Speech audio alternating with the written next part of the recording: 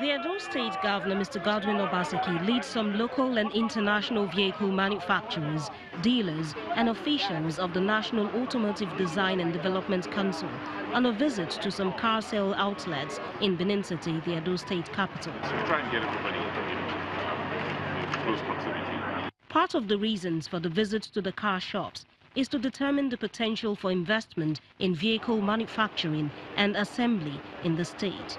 Five kilometers from here. It's, it's doing its first 20, 20 megawatts. The visitors also make a brief stopover at the Benin Industrial Park, located at Iyanomo, Benin Yeah, City. well, in the next um, 18 months, we should move all of them here. You know, just After the tour comes this meeting at the banquet hall of the government house in the state capital. We estimate that we have an inventory of almost half a million uh, stocks of cars in, the, in, this, in Benin City alone.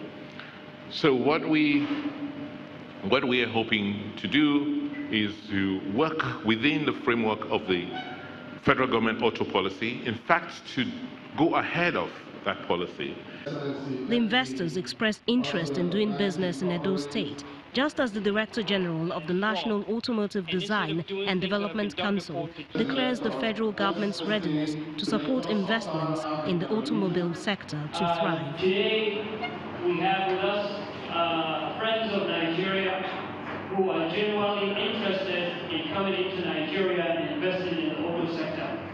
As we are all aware, the automotive sector is key to the development of the economy of any nation or society.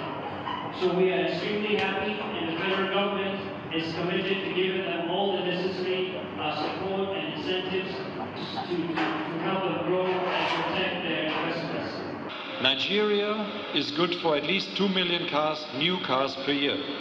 That will multiply the jobs on this continent. So, where does it start? And will Edo State be maybe the nucleus for this?